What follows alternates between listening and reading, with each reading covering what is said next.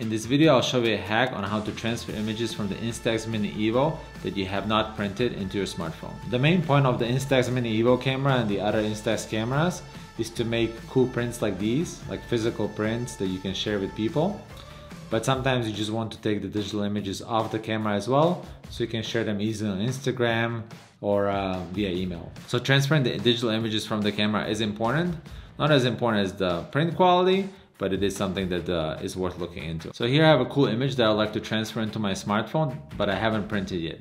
So I don't have any film in the camera right now, so when I try to print it, it will tell me that I don't have any remaining film, I need to load a new film pack. I can't transfer the image to my smartphone because when I go to menu and then go to printed image transfer, this image doesn't show up in this uh, history. There's no way for me to transfer this image from the Instax Evo into my smartphone without printing and using uh, the expensive film.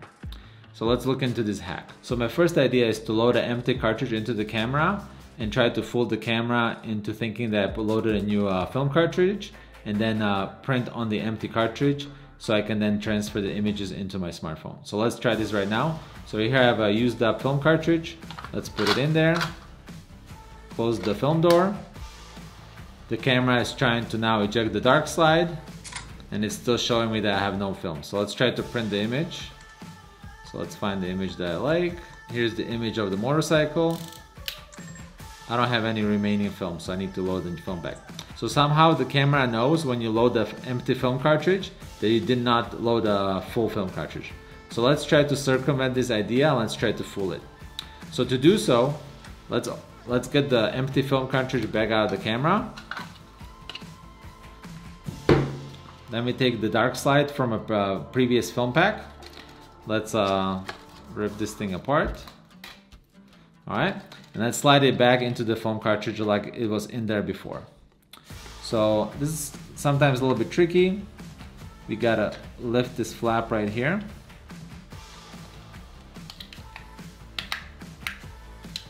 Like that. So we lift, we lift this piece of plastic there, and then we can slide this dark slide back into the foam cartridge. Just like that. So now we have an empty film cartridge, just with the dark slide on, on the front. So let's try to load this into the camera now. So align the yellow dots and close this. Now the camera should eject the dark slide, just like that and then there's a film cartridge with no film behind it. Okay, so let's turn on the camera. Ah, so we were able to fool the camera. Now the camera thinks that we have 10 sheets of film in there because we ejected the dark slide. So now let's try to fake print some pictures. So we go to playback, find the picture that I like. So here's the picture with the motorcycle with the retro film look. And now let's try to fake print it. Okay. So now it's trying to print. So remember there is no film in the camera. So it's printing, printing, printing, printing. Nothing comes out because there's no film in there. And it gives me print error, turn off the camera. So let's turn off the camera. I turn the camera back on. Okay, and let's see if it's in the print history now. So let's go to playback menu, printed image transfer. Ta-da! It's there. So now I can transfer this image into my smartphone. So now I have the smartphone with the Instax Evo app. So now we can select this image that we fake printed. Now it's selected. We can hit the plus button to transfer. Now it's transferring me from the Evo into the smartphone. It takes always a little bit. And here it is.